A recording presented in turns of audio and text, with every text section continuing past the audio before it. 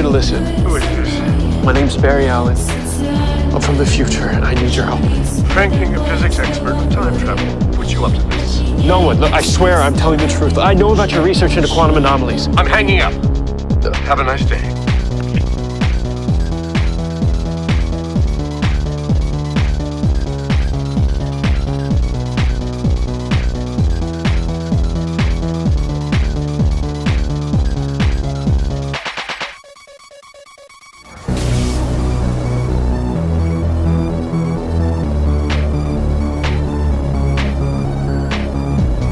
Henry, he looks just like my father. Call 911.